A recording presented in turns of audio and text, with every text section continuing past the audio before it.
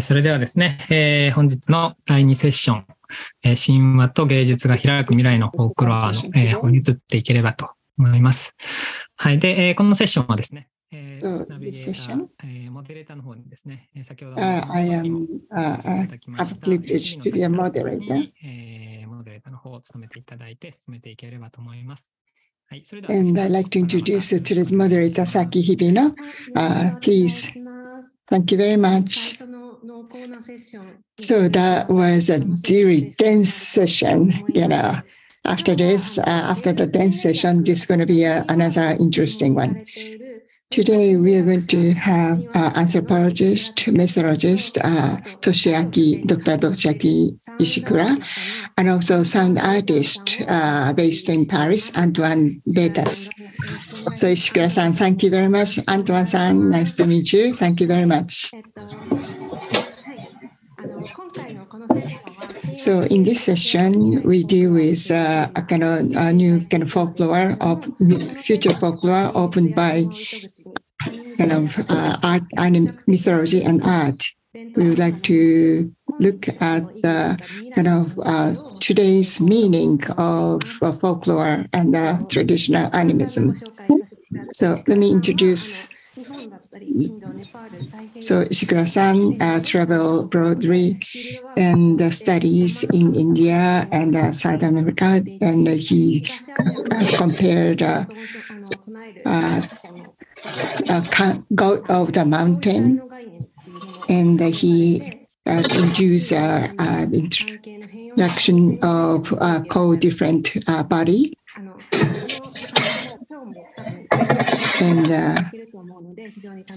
we can really listening. We are looking forward to listening to. And Antoine, using uh, field recording science and data to create an audio experience relating to the life, and he explored that field.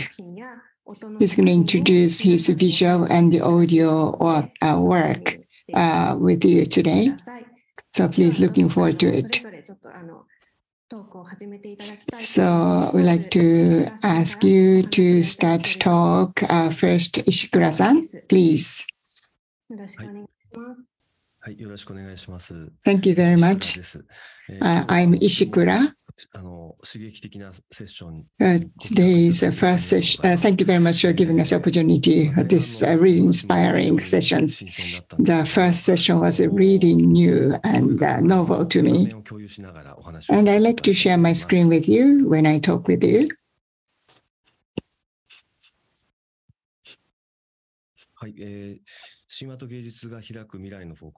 So, uh, alternative mythology for future folklore.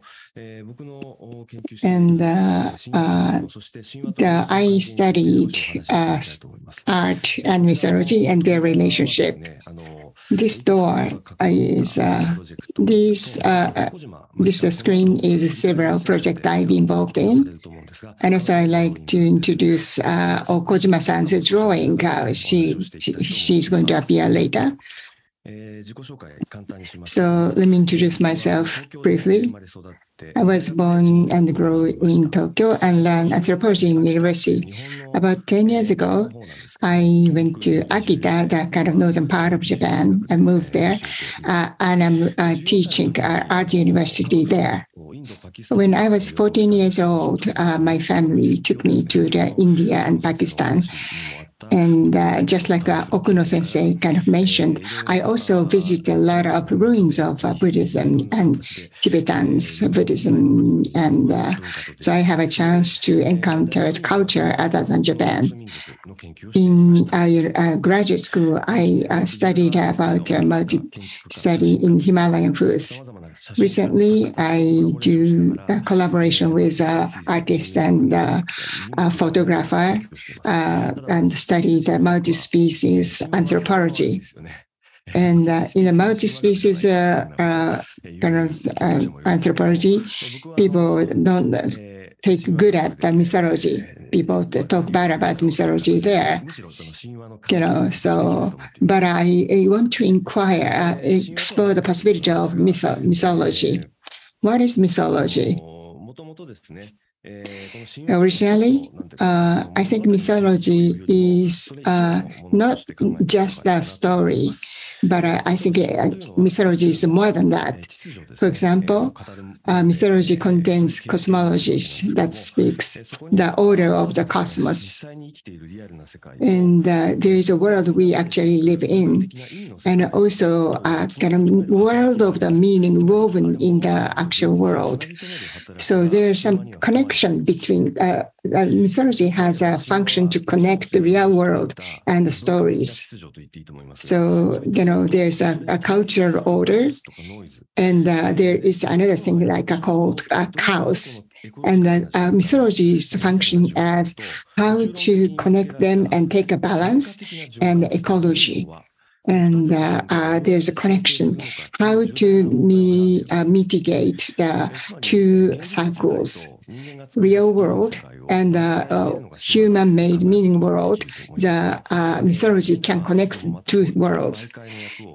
And uh, the two uh, artists in the modern age also work as a mediator and uh, uh, cosmology, and uh, also uh, they has a, a mythology contains cosmology and speaks of cosmos, cosmos from the logos, and intellectual or imagined movement that's page a. The background contains all the intellectual uh, capacities of Homo sapiens and the myths do not confine people to the category of human being, nor do they force them into the framework of the society and culture. Myth tells the history of human and all things living in nature, as well as a mystery history of how species and non-living things began and came to be what they are today. Not only that, but myths do not absolute, absolutize history as we know it as. And uh, are characterized, uh, among other things, by the interweaving a non-human species as important actors in myths. Humans, non-human species animals are great uh, significance actors. The great French anthropologist of 20th century, Claude Levi-Strauss, once defined myth story that took place in very ancient times when animals and humans were not yet separated from each other and areas uh, uh, they occupied in the universe were, were not yet clearly. This is a very broad definition of myth, myth mythology and very interesting. So, uh, in you know, children's uh, picture book is in a deeper sense connected to the world of mythos. Uh, indeed, as Levi Strauss notes, uh, mythologies around the world have not considered different species of being, such as animals, as separate from human, but rather as having a light and history equal to that of human. On the contrary, many indigenous mythologies in particular have considered animals as important partner of human, member of fellowship and transfer, transforms into each other, married each other, and spoke in same language. Myths are not simply fantasy story, but translate and fold into human language and the perspective of the other creature and non-living things living onto the land. And uh, uh, uh, myths are not only told in words, but also expressed, translated as figurative expressions. Masks on the northwestern coast in America, for example, are like in, interestingly, these masks also closely uh, resemble Japanese masks. Levi said something very interesting they said uh, mask doesn't exist as it's on its own. It's always get translated and uh, reshaped.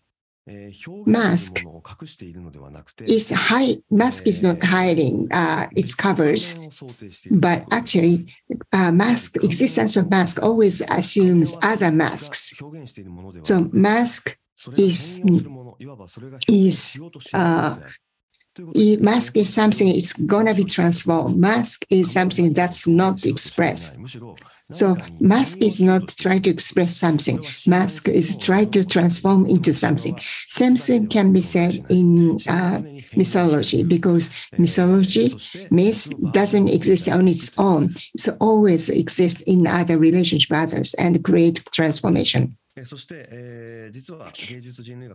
And uh, in the artistic authority, Carlo Severi to Val Vogue, you know, uh, through the all the uh, shapes, Hopi uh, paintings, Kuna pictograph, Apaches, snake crosses, Sepik Vahinemo's uh, book. They compare those uh, artifacts of the indigenous people, and uh, those prove that uh, precisely such mythological transformation could occur in the realm of art and craft. In this context, different objects transcend, exist, and become chimerical uh, abstractions. So this is called chimeric theory.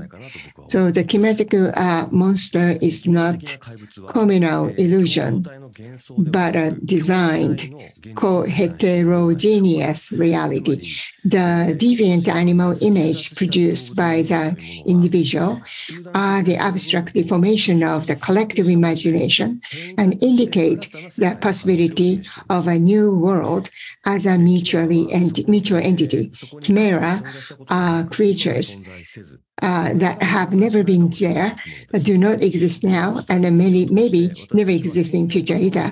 Through those images, our transform uh, transformation ability itself is expressed. So animism has to do uh, deeply with uh, possibility of transformation. So those kind of uh, uh, myth is uh, connected so Japanese artist and a Korean artist, I had a chance to uh, talk about the myths and the. Our tempora, tentative result is uh, unless we know other people's myths, we cannot understand other people's uh, uh history. You know, we prepare, we call, we call, co-own the, um, uh, the myth and history uh, over the cross border and uh, connect and transform them. That's going to be create, you know, uh, we are in the era of the we global crossover myth not only uh, visual and uh, uh, the myths transcend the image of the human and open passage between different beings. The contemporary philosopher Emil Coccia argues that the human existence is a planetary scale use of atoms with all the matter and organism that exists before us forming the spirit and body of the individual, though through uh, reproduction of the birth. Myth probably tries to tell the same story using a narrative form that lies something between animism and uh, uh, scientific thinking. And this is a uh, Dr. Coccia. I think is the best, uh, the greatest philosopher in the in uh, modern age. Uh, stay in Japan right now. As uh, so as we explained, uh, yeah. Self involves the transformation of the animal human image whereby humans and animals are combined to create a hybrid image of both. Many of them have a solid narrative context.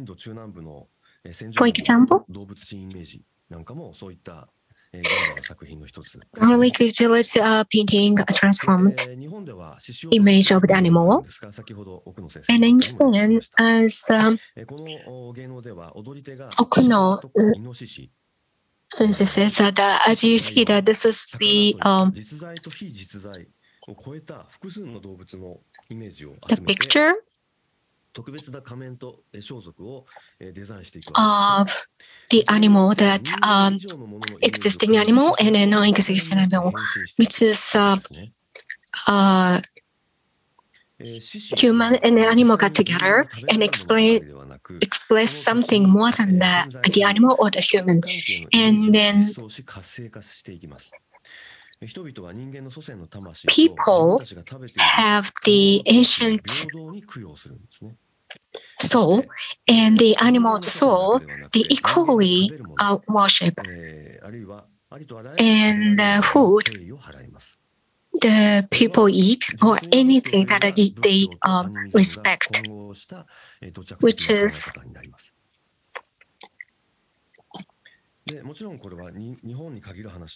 and this is not just uh, Japan, but also the artists in overseas also have the uh, idea that a Cambodian uh, artist, which is uh, creating the head of the uh, animal and having this mask.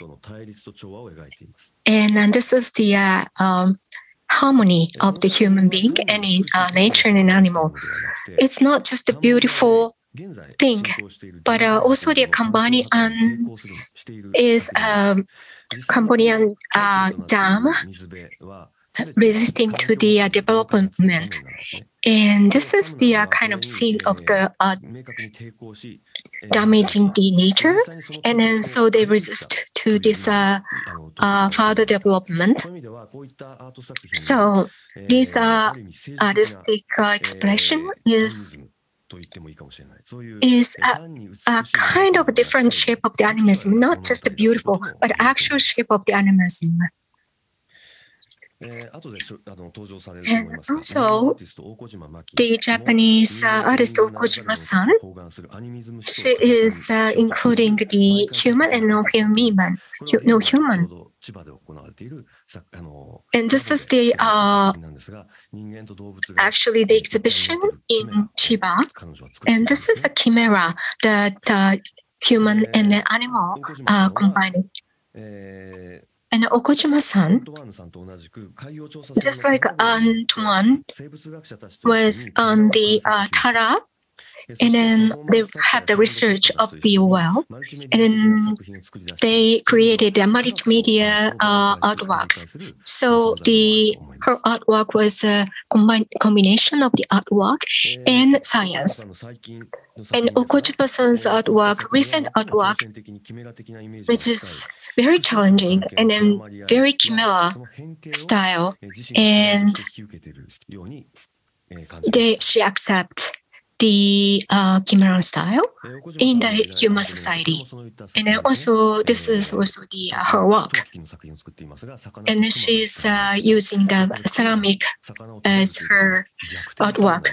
So this is like a fish eating bear. So this is opposite kind of power, right? Power balance. These are also the uh, uh, animal and human being got together. So this is the recent kind of artwork in October I did with uh, her. And she invited mountain as a guest. And as an anthropologist, that I translated the uh, language of the guest members. So guests are mountains, and which is the importance of the um, translation, being a translator of the human being and the nature, the mountain. And that moment that she created a new artwork, which is a drawing. This is the mountain and the embryo got together. And this uh, mountain, uh, mountain, ocean, and coral, and all these uh, things are invited as a guest members. So she's going to develop all this uh, new project. And this is a metamorphose uh, in Japanese. And this uh, her artworks uh, connected to the, uh, the all this uh, nature. And then modern human, Albert Kohn, how forest think in his book that he was living uh, all these uh, species in the forest behave as a human, but the network spending so many years that uh, developing of the uh, hum, uh, the species. And then Kohn, as an anthropologist, ecology observes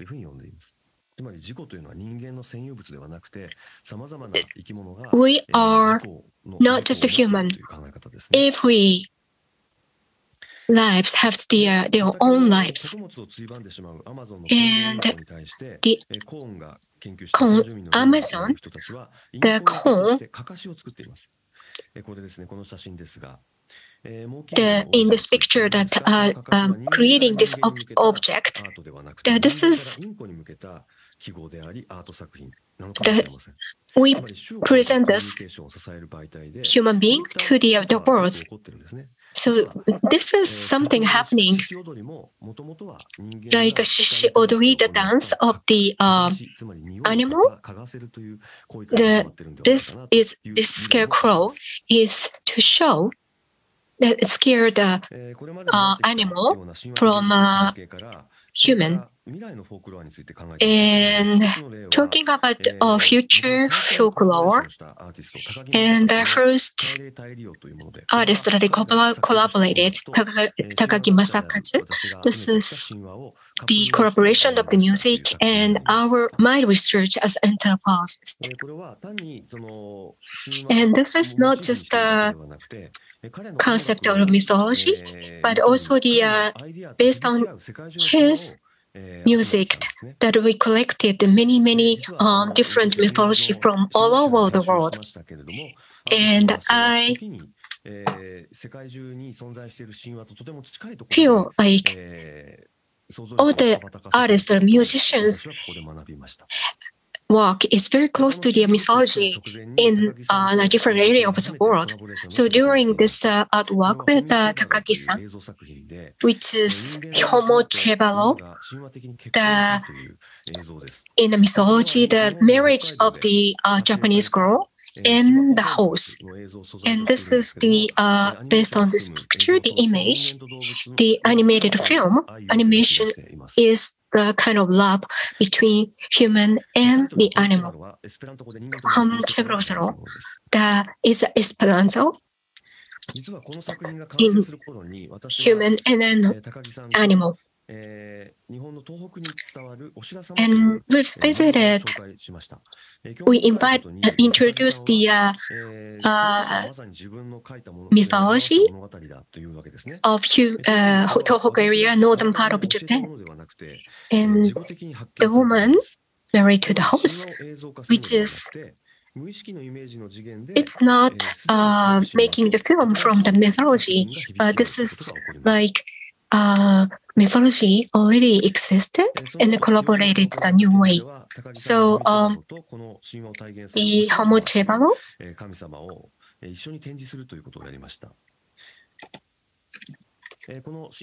we uh, present together. This is a tradition. So those mythology and folklore uh, is actually uh, keep giving inspiration to the art all over the world.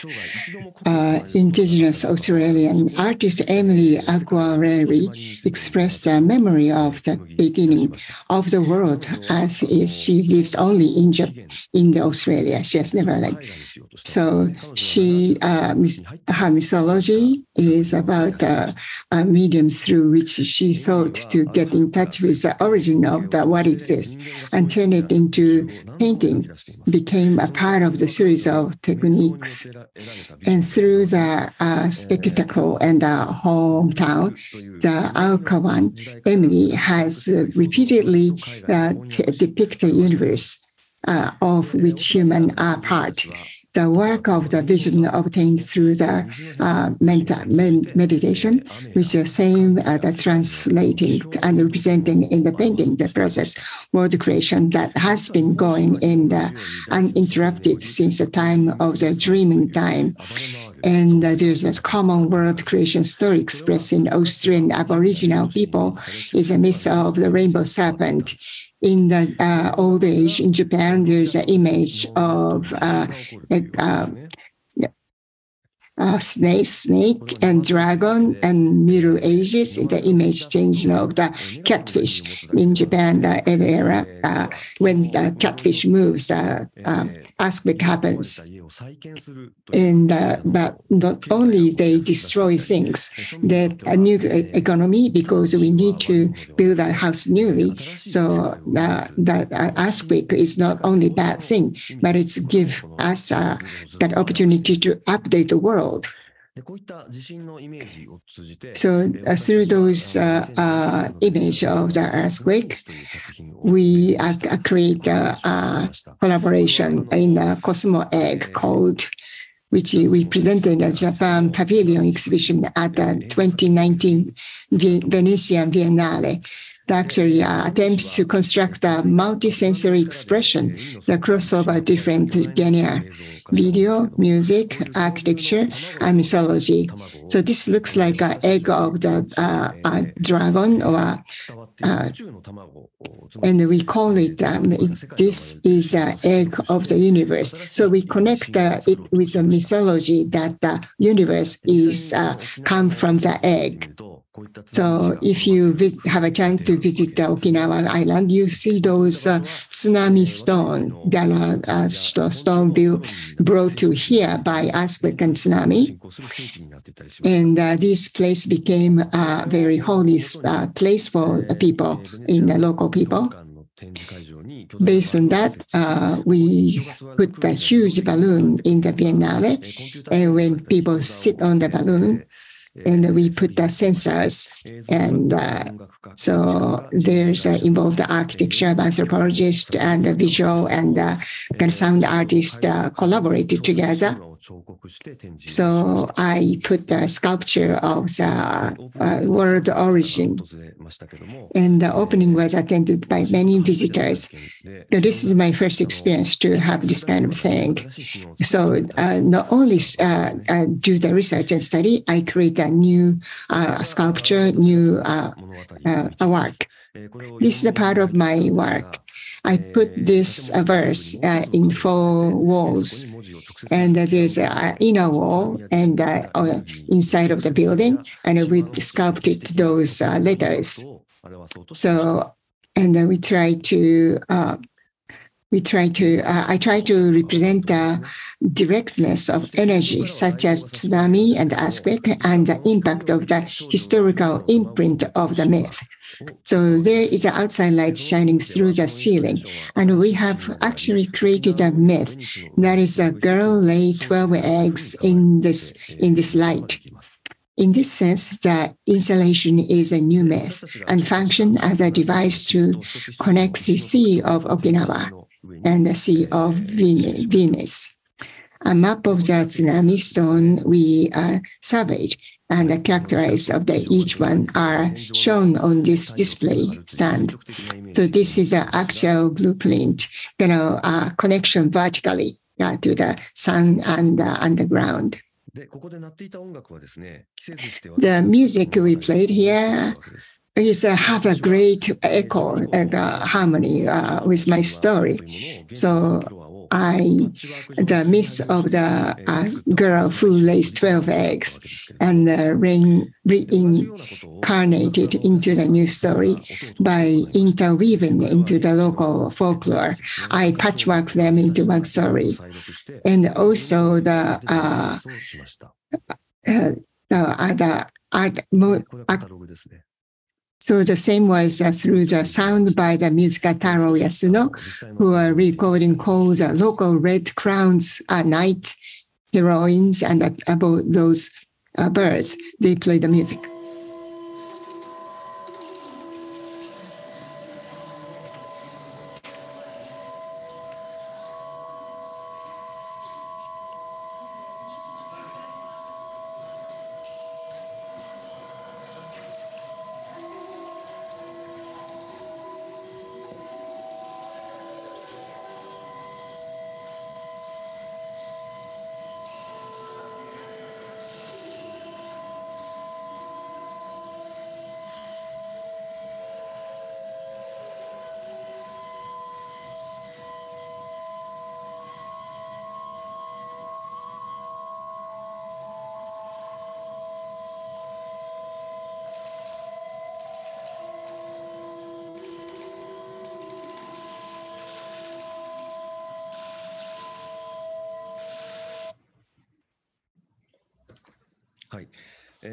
Thank you. So what I have been talked so far is uh, I'm happy if you if we can share the uh, myth has uh, several layers. The superficially it has a layer of fiction, kind of imaginary. It's only imaginary story, but underneath that there's a cognition, uh, the framework for the cognitive understanding of the world. That is a second layer. Underneath that there's some uh, 創造的な働きがあります。Kind of, uh, creative and sub consciousness, which we cannot even imagine. It's going to give us an image of the world which go beyond species. That is not only the human being's world, you know, uh, the, deeper reality uh, sense is evoked.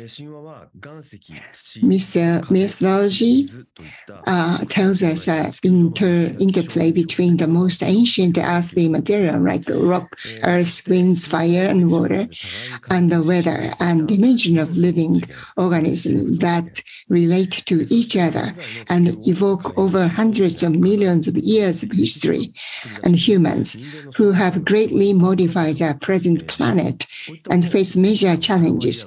Miss will telling those interwoven relationships. The artist, and uh, uh, experiment, experimentation by the anthropologists will be deeply connected and like, uh, continue to create those works. So I use a word uh, uh, in called different body. And uh, also he developed that idea to the physical bodiness. As Coccia said, our body is is uh, given the patchwork connected precursor of the atoms of the present, present, presented other animals and living humans. So we are patchwork result of that. So our body is all kind of patchwork of different things. At the same time, you know, other species on this earth, you know, we exist together. So it's not just a community. Like uh, we don't, we cannot define the reality with human community because all the other species can exist in the same thing. So that we what we call heterogeneity. The uh, myth is told in that. And our body, a co-different body, is interwoven with that to create a new, new folklore for the future. That is not close to the human being only. オープンホールという言い方をしてますが、そういったあ複雑なネットワークの物語というものを作り出していくと思います。閉まってるかな Thank you very much. Uh, this is the uh, our exhibition that uh, this is actually uh, the birds laid uh, the eggs and I, it was unbelievable but this is a very very good uh, example that we are connected uh, thank you so much, Ishikura-san. Very, very interesting talk. And uh, during the dialogue, I would like to uh, listen more deeply what you have been doing. And before that, I would like to introduce uh, Antoine. Antoine, thank you. So, if you're ready, please.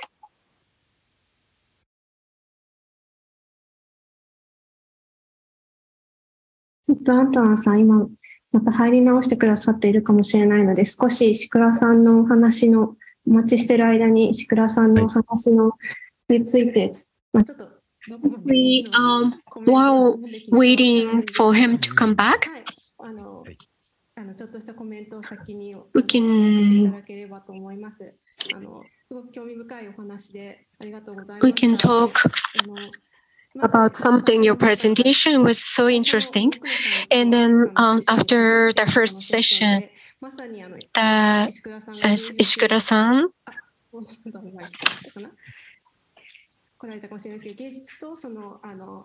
collaboration of the artwork. And as a mediator, the translator of the art in the science. So I would like to listen to what is. Okay, I'm very sorry about uh, it's the the magic of technology. uh, okay. So sorry, I will start now. Please. Um, so, okay, a little bit of sound. So I was saying, uh, yes, I'm really happy to be here um, and that you can hear me now. I'm also happy about this. Um, and so I'm an artist, and for the next uh, 20 minutes or so, um, I would like to tell you about how an initial interest for aquariums uh, evolved into uh, me trying to become a musician. And uh, before I, I, decided to study a little bit of science and eventually uh, decided to work uh, as an artist. Um, so let's go. Um, I remember um, the exact moment when I first uh, became fascinated by the living world, and I invite you to do the same. Uh, it was not in a primary forest. It was not uh, under the sea. Uh, it was simply in an apartment uh, in front of uh, one of my friends' aquarium uh, I remember the low frequency drone uh, of the filtration equipment of the aquarium um, and how this sound weaved gently with the colors of the tropical fish and uh, the gentle oscillations of the plants. Um, I was 10 years old at the time. And um, at that time, I knew by heart, I remember uh, by heart the, the brands of cars in the streets uh, I remember that they were more numerous and more diverse uh, in my world in Paris uh, than trees, for example. But I don't think I'm alone in this uh, in this situation, um, and so I would like to do a quick test. Maybe you can uh, uh, tell me in the chat the answers to that test. how many of you can name all the name of these brands, these brand logo? And now, how many of you can name all these species of plants? So I hope some of you might know more plants than logos, but unfortunately, I think for a lot of people like me, we are in a um, in a in a context where uh, we are very accustomed to to human inputs and not so much to the natural world as uh, as we know. And so my friend aquarium um, was an invitation to observe fabulous animals uh, to dream about weaving relationship with them. Uh, and when I had an aquarium at home myself, uh, I spent days literally observing the movement of its uh, inhabitants. Uh, shortly afterwards, uh, my parents took me to the um, public aquarium in Paris. And you can perhaps imagine how surprised I was when I discovered that in this public aquarium, which houses aquatic species from all over the world, uh, there was also a fish restaurant in the same building. It's our relationship with living beings uh, that must evolve, as the previous speakers has, have, have explained. Uh, a first reason uh, is that humans won't survive the extension of uh, species that it's only beginning. Um, and that's everybody dying in just a few weeks or a few months or a few years uh, is not enough time to understand the meaning of the universe. Um, another reason, I think, um, to change this relationship is that uh, if we survive the climate crisis that we are already in, uh, the, the universe will not reveal uh, the secrets uh, of what it is only to humans. A reminder of that, uh, perhaps, is that gravity was discovered with the collaboration of, a, of an apple. I would like to present a first uh, a first piece, a selection of pieces uh, of mine today. Um, in 2018, I collaborated with physicist André Füzfa uh, to create a piece about gravity and what would happen if uh, you or I would fall into a black hole. Uh, black holes, as some of you may know, are a region of the universe where gravity is so strong that it bends light uh, and time and eventually our own notion of reality. Uh, this uh, piece, Hearing Gravity, is a 15 minute experience. Uh, it's for one person at a time. Uh, and it's using binaural sound technology to take the visitor on an intimate scientific journey um, somewhere between uh, auditory illusion and immersive theater.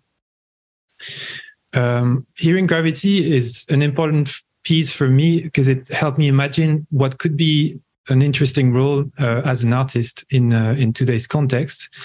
I realized that I was not so much uh, interested in producing my own composition, uh, sound composition or music composition or my own objects, um, but I was more interested in ho- in somehow offering my my services as a translator between uh, humans and other realities. In this case, of Platon. Um, I'll just play a, a short teasing um, um, a video that will show you some of the aesthetics that went into into this piece.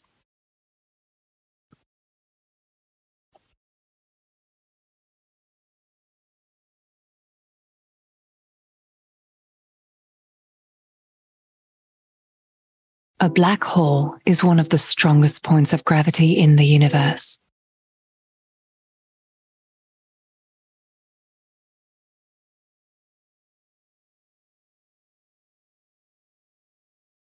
Imagine a trampoline with a heavy rock resting on it, distorting the fabric of the surface.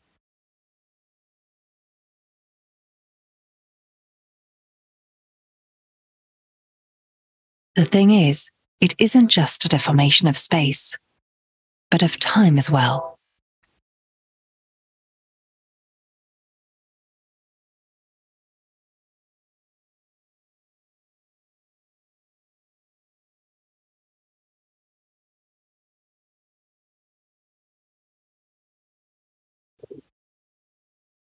The more we listen to gravity, the more we have come to understand gravity is an illusion.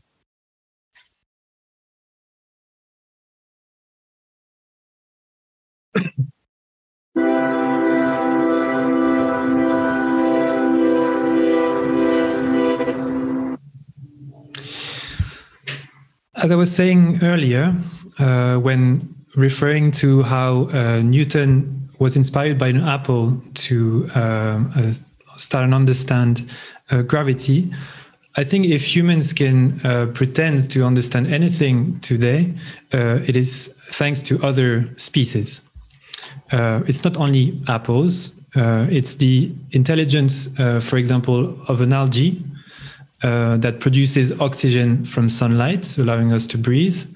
While we are still struggling as, human to, as humans to uh, deploy renewable energy technology, it's the deep uh, knowledge um, of water that clams uh, uh, have that uh, help us to monitor the pollution in rivers. I'm referring to a story that I stumbled upon in a newspaper about the city in uh, Poland, where uh, clams are used to uh, um, um, um, protect inhabitants from the pollution of their water. Uh, clams will co- close very rapidly when the water quality changes. And so this team of, uh, of uh, scientists have placed a little sensor on the clam shells to detect when they're closing and when there might be a, a, a safety issue with the water. Uh, these clams every um, uh, three months, I think, are released um, uh, and replaced by new clams that would help uh, monitor the water. It is also the um, um intelligence of a gecko uh, that allows the allowed um, space engineer to find a solution to um, uh, glue objects in space. You can't glue objects in space because there is no atmosphere, and so uh, objects don't stick. The glue doesn't dry. Uh, and it was discovered that the hands of geckos are structured in a fractal uh, fashion, meaning that it's a structure in a structure in a structure until uh, this tiny structure exposes the uh, atoms to the air. And so geckos and lizards generally are sticking to walls using atomic force. Um, and this is how uh, NASA, the paper is actually available on the NASA website, was able to find a solution to glue objects in space. Um, oops, sorry. And so the Latin origin of the word uh, of the word uh, inventing uh, confirms that inventing consists in listening. Uh, invenire uh, means to find, to meet, and so it's a little bit like uh, meeting a friend on the way to school, or noticing a clue on the ground when you're walking in the forest. Um, maybe, for example, a banana on the ground. Oop. A banana um, and I would like to remember a fruit uh, with which we share 60% of our genes, like with all plants, like with the plants I have behind me. Oop. and so it's not really longer time for bioplagiarism, uh, which is to say to plunder the planet resources and to boast uh, about uh, being more intelligent than other species. Uh, the time has come to listen to the living world uh, it's time for biomimicry, for bio cover songs. Uh, similarly, I think to the way musicians will reinterpret a song to honor it and to keep it alive. So I would like to show you a second uh, installation that I created in 2020, and it's called Species Counterpoint. Um, and it was inspired by the fact that I just mentioned that we are 60% genetically identical to uh, to plants. Um, our gene speak of the relationship that we have with plant and that too often we forget that we were once uh, one and unique being.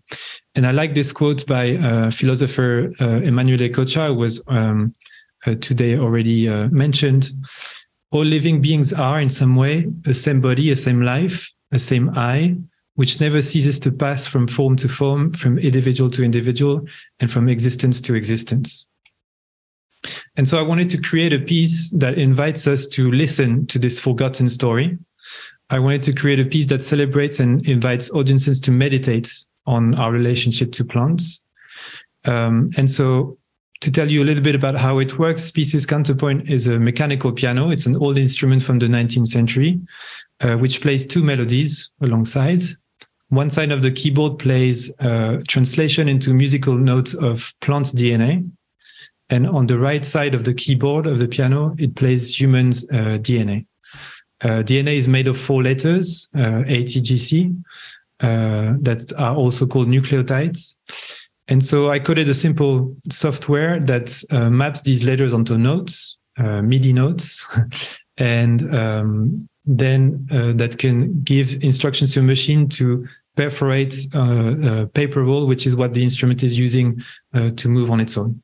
Let me show you a little bit how it looks.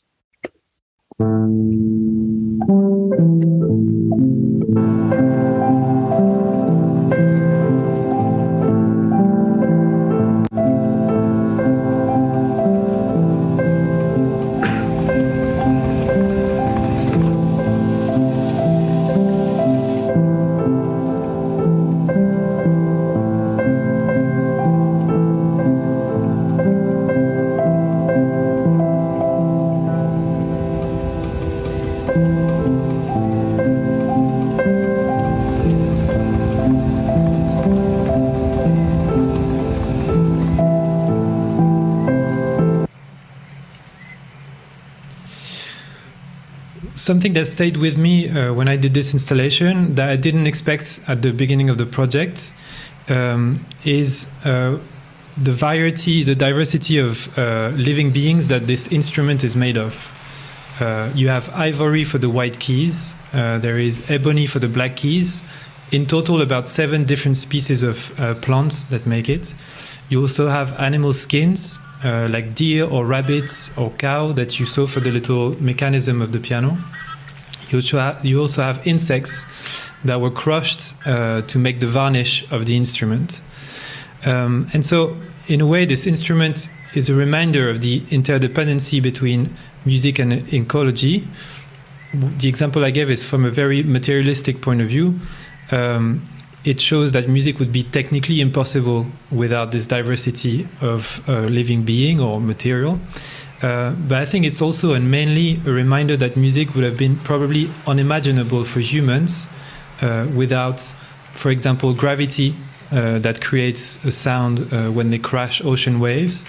uh, without the wind playing with the uh, leaf of trees or without birds imagining melodies first. And so this is a, a quote from a philosopher, a Belgian philosopher Vinciane Despret, from a piece called Phonocene, um, about this origin of, of music. I think that uh, when singing was born, the rain falling, the waterfalls, the rivers, and the waves of the sea, the rumbling of the earth. Then the wind joined in, every reed, every stem, every branch became flutes, organs, oboes, and horns. The earth became singing, the world acquired its being melodic.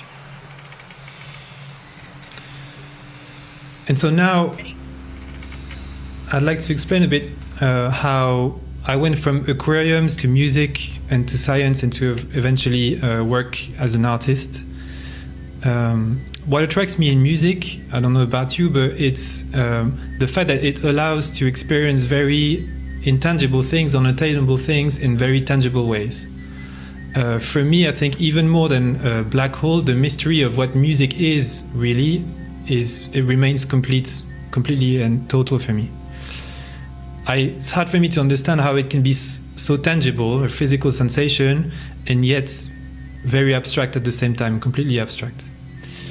And so I started studying science because I wanted to understand the, the functioning of a musical instrument, acoustic, electromagnetism, uh, and at the same time, why not some of the ways that the universe uh, works?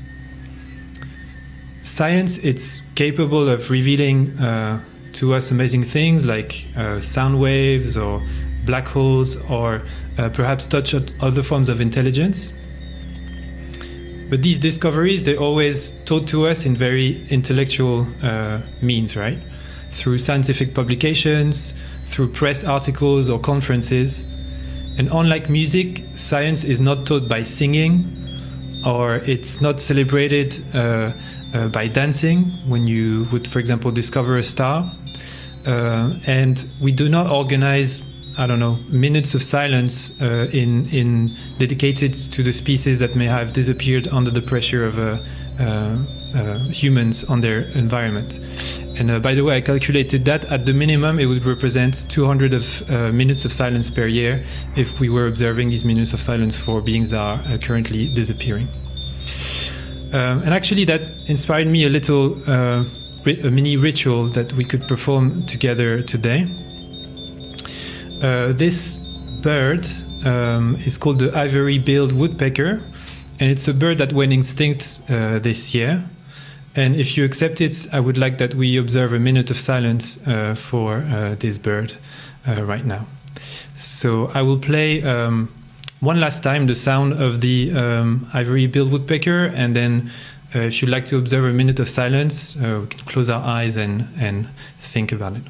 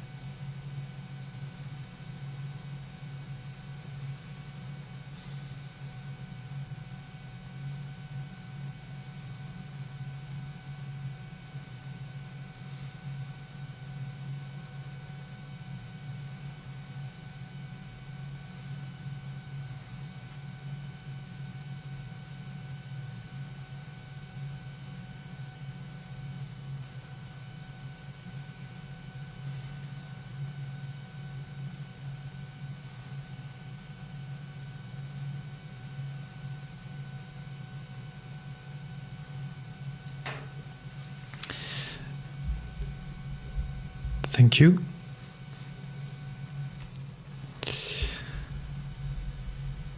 And so, in order to get through the climate crisis, it, it seems to me that science um, also must become a sensory experience, a social, a ritual experience um, to go anywhere. Aquariums or zoos or botanical gardens, whether you like them or not, uh, they allow us to appreciate collection of animals or plants, uh, minerals, um, but you know, I've been wondering, do they really allow us to connect uh, to the living world around us? Is archiving and exhibiting uh, the disappearing, disappearing world around us enough to preserve it? Probably not. And so, what do we do now?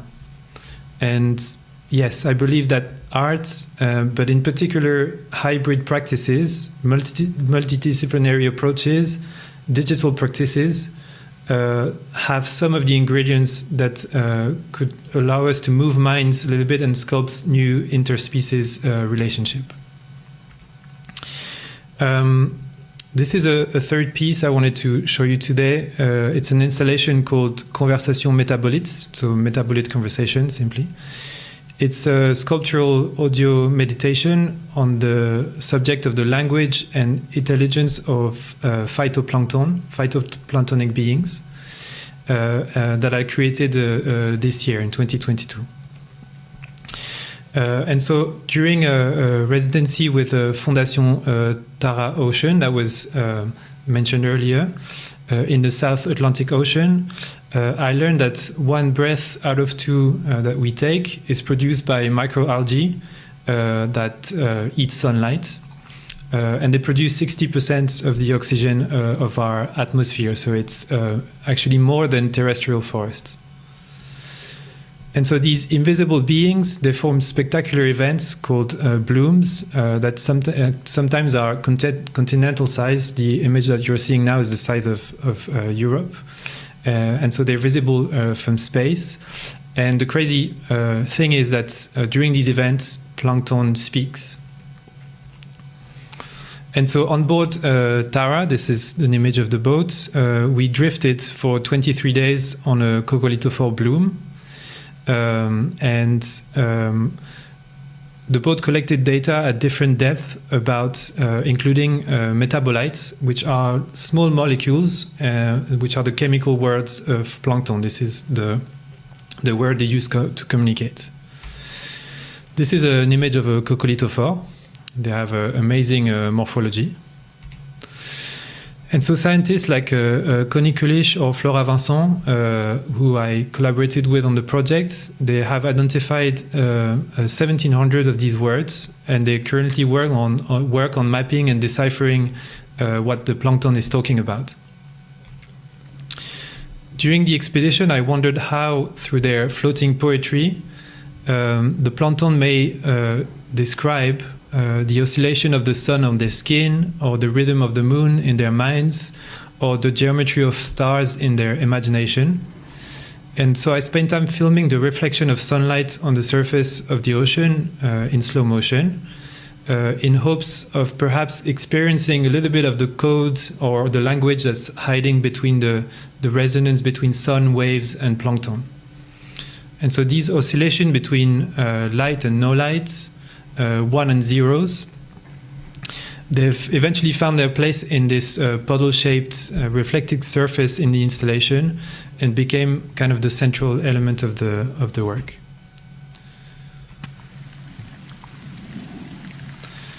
In the installation, you can hear a composition uh, that weaves together hydrophone recordings uh, with sonification of metabolite concentration uh, as they evolve during the, the, this extraordinary event that is a boom. And so there's a 23 minute composition for 23 days of data uh, for an opportunity to eavesdrop on the, what the plankton uh, might be saying. And so sounds are beamed on the frosted glass through an ultra directional speaker that you will see in a minute. Um, and so the sound reflects in the surface to immerse the listener in a, in a sound bubble uh, around the object. And so I'd like to see this work as an attempt of uh, artistic uh, led scientific rituals uh, to invite visitors to enter the in the presence of these invisible beings that float all around us and that allow us every day to, to breathe.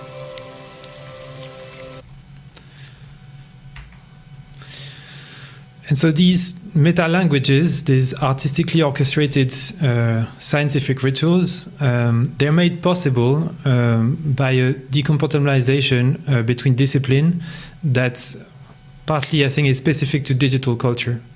when I was on board Tara, the scientists uh, they're using the same alphabets that I'm using uh, in creating artwork. They're using one and zeros.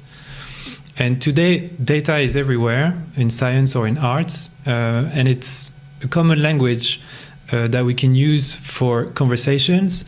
Um, but I think probably new kinds of cooperations uh, between artists and scientists uh, that can work together, yes, on exploring the world, but also on creating a new relationship with it and to preserve it.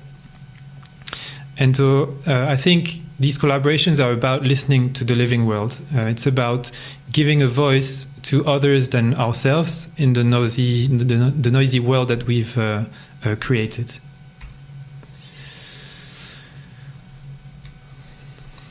And so I used to th think of um, listening as the act of absorbing sound. Uh, of, for example, staying silent uh, in front of an aquarium for hours. Uh, in fact, a lot of field recording is based on this idea that the recordist may be somewhat absent of the scene or that their presence would have no effect on what's around them. So this is a video I shot during uh, my first residency, artistic residency, uh, with Forestry Commission England. Um, and then I realized that listening also had to do with being absorbed, uh, not just absorbing, but being absorbed, uh, tolerated, uh, perhaps accepted by the ecosystem that you are in. I love an example that uh, gives uh, um, philosopher ba uh, Baptiste Morizot in his book entitled Tracking Mythical Creatures, where he describes how to be able to get closer to wild deer, a trick um, is to pick up a bit of grass on the floor and eat it in front of them uh, so that they realize that you too might be a vegetarian uh, and that they let you be around them.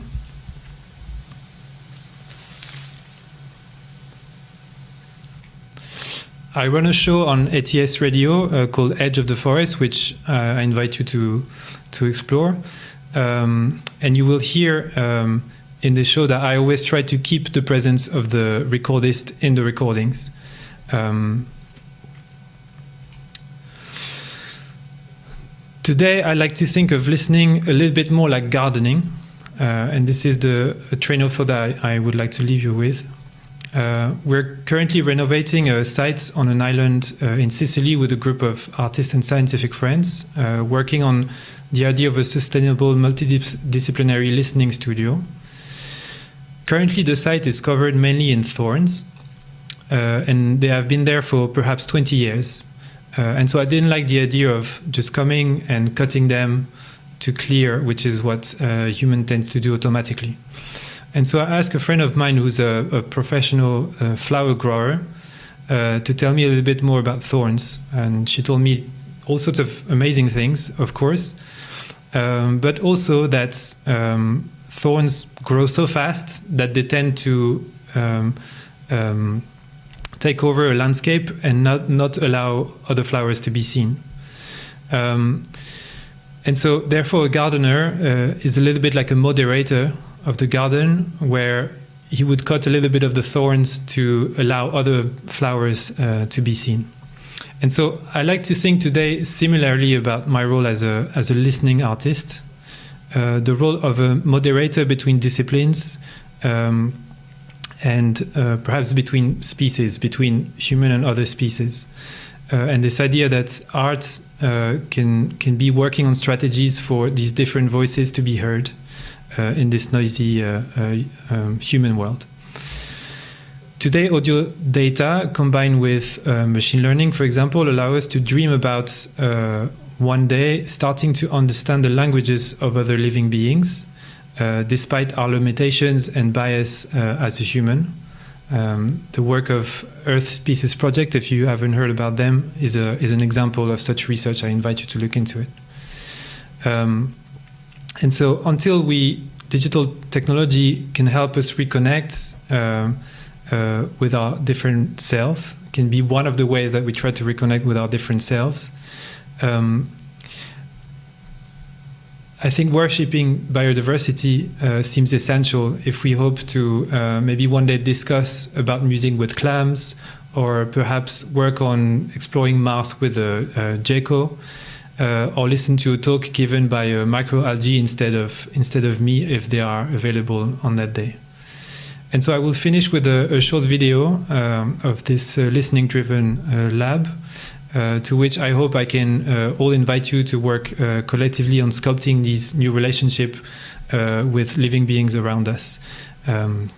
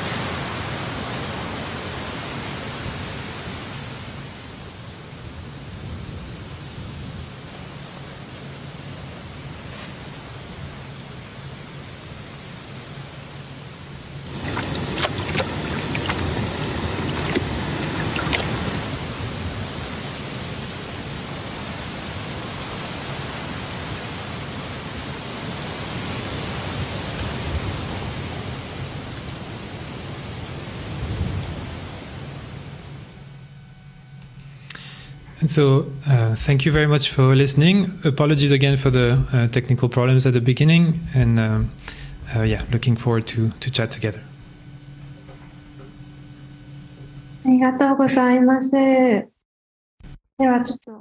Thank you very much. So immediately uh, inviting uh, um, Ishika-san, Antoine-san, we are going to start the dialogue session. Uh, both of you, thank you so much for your very valuable talk. Ishikura-san, I just started to uh, give a comment to Ishikura-san, but hearing both of you, I thought anthropology and art and science and mythology, you are connecting that and the intermediate then to generate and practice uh, experimental method. Thank you so much. Thank you. So the things uh, around me and how we see things, you know, the, our perspective to see the world is expanded. So, Hanash, I have a question. So I have a question for Ishikura-san. So mythology, you know, has a possibility of story carrying, and I would like to see the possibility of the storytelling in mythology using mythology. So, um, Ishikura-san, you said about the ecological circulation and uh, you know uh, you said the uh, mythology works in the intermediate between mythology and the world. So, what is the origin of the mythology so that people can connect story, people can generate the storytelling? Do you have any idea of the, how people started the storytelling uh, of the mythology? Thank you very much. Uh, you know, uh, I you know, listened to Antoine's uh, experiments and practices, and I felt you know, maybe he had the same kind of uh, uh, perspective as the original maker of the mythology. And currently, current artist has a science. And actually, mythology has a lot of uh, seed of the science there. You know, uh, we, mythology explain why sun arise and why uh, how the night comes, why human being uh, stand in two feet and walk, while other animal walks four legs and foot. So those are the tangible results we can observe. And we need uh, some narrative to explain why it is like that and uh, uh, how the world, why world is like this. You know, a narrative answer is a mythology. So it's a fiction, of course. And uh, and uh, people started to explain the world using those. I think that's the beginning of the storytelling of the mythology. There are people who made a mythology in the beginning. If they have some uh, very uh, super sensors and some uh, musical instrument to express that, they may end up this, this explanation of the reality world into music. But at, at that time, they have a narrative at their hand. So then we that lead me to the question: What is a narrative? What is a story? And I think story has two possibilities. One is uh, deceit people through fiction, in a way, fool people to en- encroach us in a one world. That is a power possibility of narration. For nation have a mythology and they uh, disempower people. That happens in many countries in the world. And uh, there's another uh, possibility of storytelling mythology. Uh, that is what a current artist is doing. That is create different reality. There's a primary possibility, primary story, and uh, we can create a different reality that is uh, a possibility of mythologies narratives, and it has a strong a connection with uh, uh, artist. Thank you so much. Very interesting perspective. So in and you also said in the uh, mythology, mythology includes a lot of seed of the science. And also, as you said right now, mythology, narrative, storytelling can create a new reality. And also, it has the ability to confine ourselves in a certain story, certain kind of world reality. So next question is for two uh, two of you. So you know what is among what Ishiguro said. You introduce a word of Lévi-Strauss, Claude Lévi-Strauss.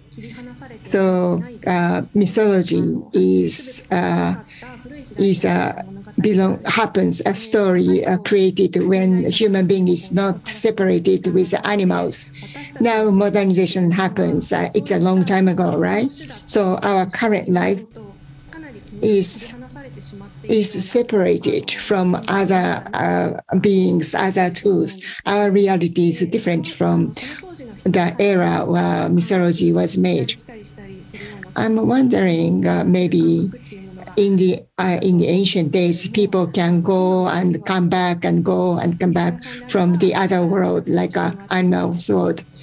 So Ishikawa-san, uh, I think you have a new uh, project, and Antoine, you have a project, spectral project through uh, sound.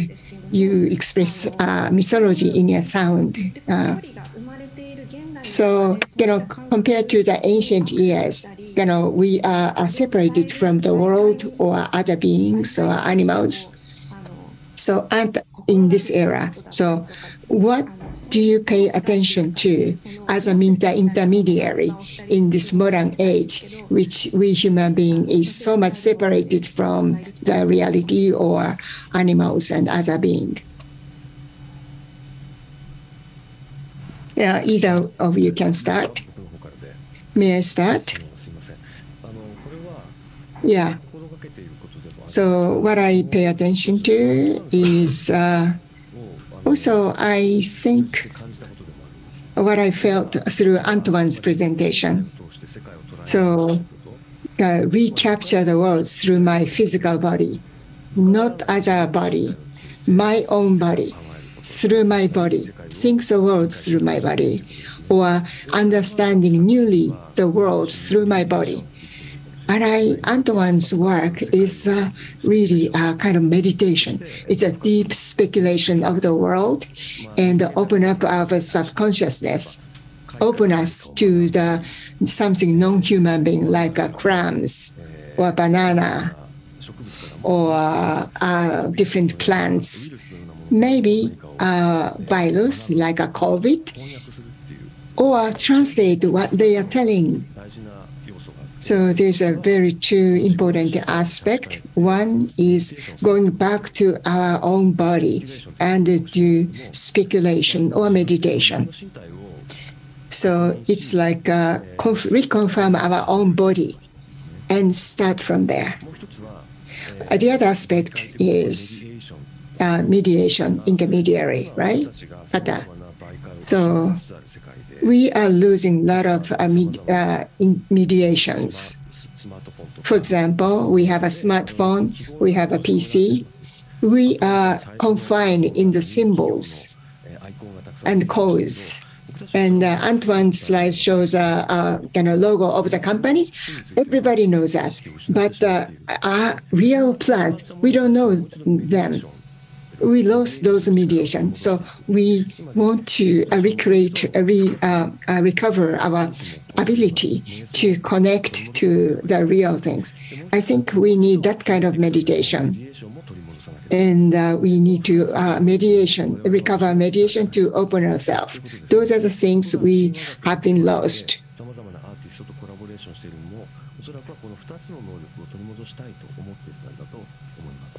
So I think we want to recover these two abilities. What do you think, Antoine? Yeah, I mean, in terms of what to pay attention to, so as I was saying, I, I, I guess I evolved in a scientific context. It's a little bit what I studied, a little bit. I'm not a scientist.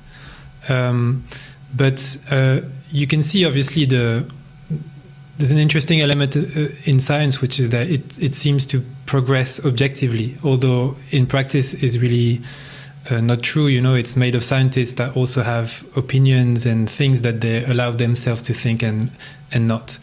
Um, and I think, in particular, in relationship to the the the living world, we have a lot of bias. Uh, we think the living world is not uh, um, intelligent, or even they can't speak, or uh, that we are just now discovering all these things and that nothing was known before.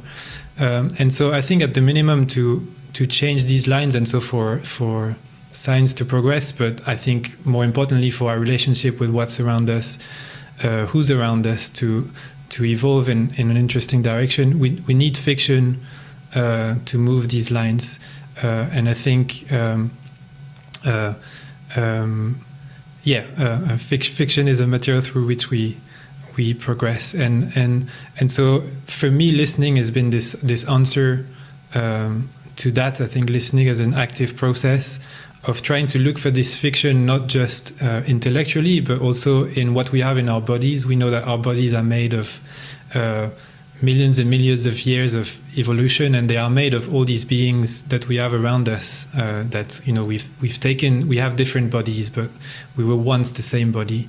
Um, and I think uh, these fictions, as uh, Professor uh, uh Toshiaki Ishikura was saying, they're not just uh, intellectual; they are uh, in the intelligence of our hands, of our bodies, and and and this is something we need to explore. And I think, yeah, fiction and embodied fiction is a way to um, progress through this. So, so yeah, I think um, what I'm trying to pay attention to is is listening as this very physical activity, and and and what ideas can emerge from this, uh, perhaps by uh, what other living beings are, are suggesting or telling us, and not just ourselves.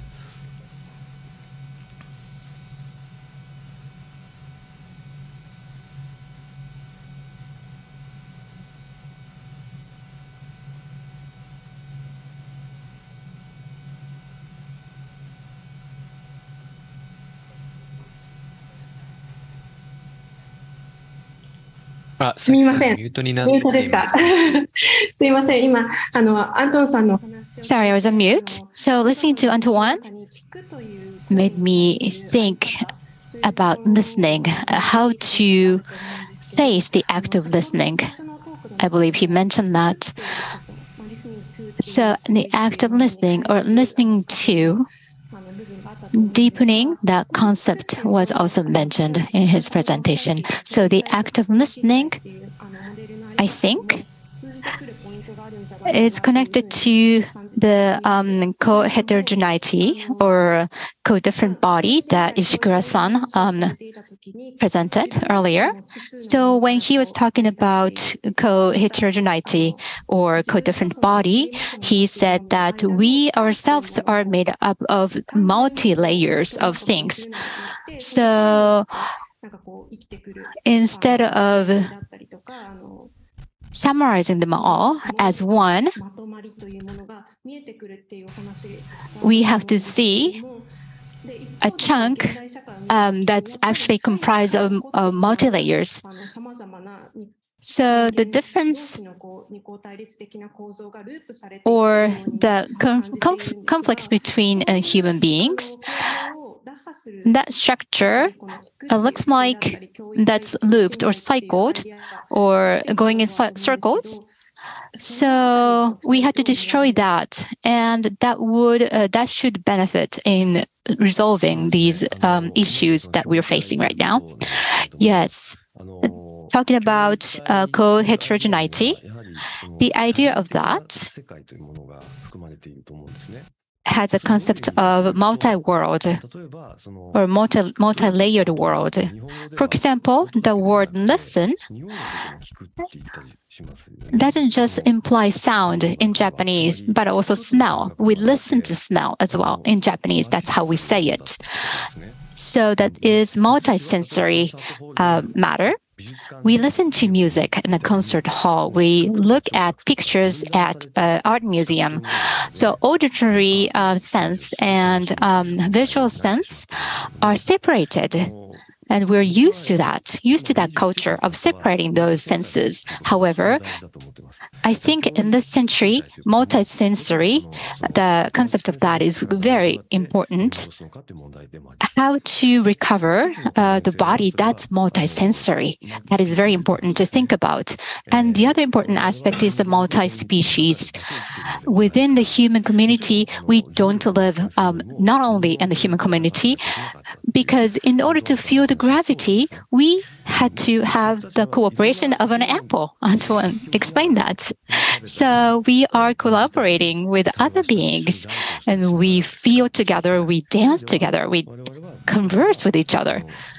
And then we have developed that way. So we are living in multi-species world. And the uh, third one is a multi-site. Um, we are connecting Japan and Europe and the world right now. We are gathering together here online, but connecting the world. In doing so, so we have to be aware that multi, uh, multi places, multiple places are contained in one place. Because there are multiple places or multiple things, we can rely on each other and we can create narratives and stories together. Multi species, multi locations, those multiness we have to recover. That is uh, one important issue that we have to tackle.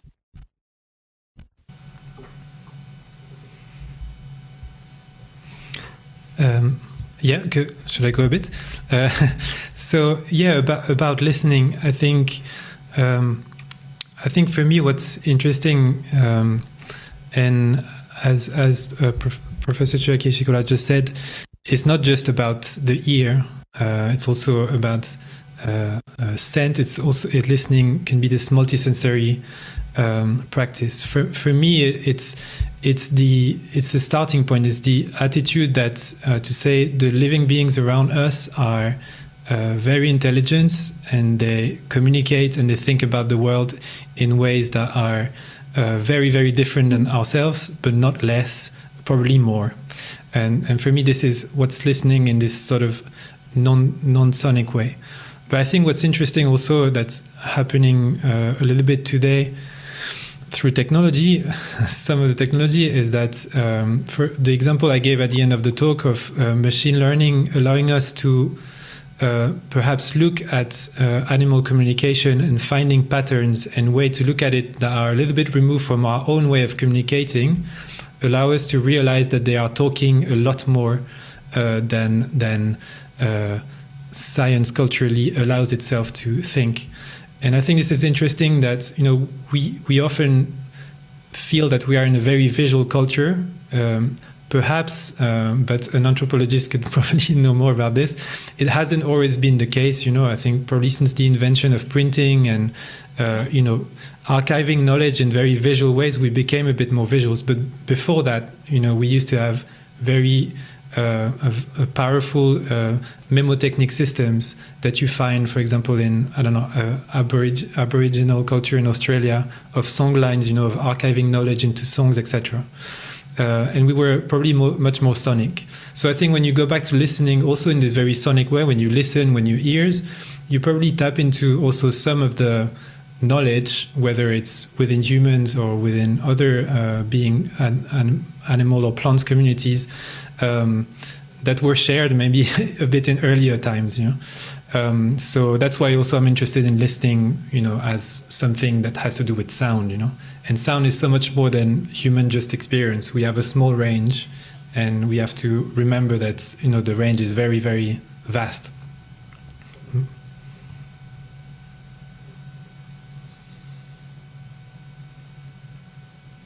ありがとうございます。 お二人のお話を聞いていて、ちょっと私もなんかこう。Thank you so much. Uh, listening to you too. の感覚っていうものを一旦 I という気に今なりました。あの、音のお話。 feel like I'd like to uh, focus on my own sensory, like a three um, dimensional 場所っていうところの複製複数 myself and others in the other place. アントワンさんがおっしゃってくださった And uh, also the uh, だけではない。 sonic, as Antoine said, that not just listening, but catching from the other things or the intelligence belong to the um, the materials and things, and then including the stories uh, within in tomorrow session that we also tomorrow's session that we would like to listen also listening but we have the opportunity to have the uh, meditating um, experience connecting to our physical body which we are losing in a busy world. So that is uh, kind of the inspiration that I get from you. Um, we can keep going, but we'd like to close our session. If you have a question from the audience, please um, ask Ishikura-san and Antoine-san later. So please write your comments down in the chat box so we can follow later. Thank you so much for your very, very precious talks. Thank you so Thank much you. To, to, you too. Thank you. Very inspiring. Thank you for uh, joining us, um, Anton, and giving us incredible talks. Thank you. Uh, hi. Uh, 倉さん、アントワーヌさん、石倉さん、Antoine and Saki, thank you so much. Uh, which one of you probably feel uh, different things inspired by all these talks? And we had two sessions. How, how was that? Mm-hmm. and there's so many inspirations so many things that are new information. It's like a showering in the new words or the different thought or uh, you have um, sensed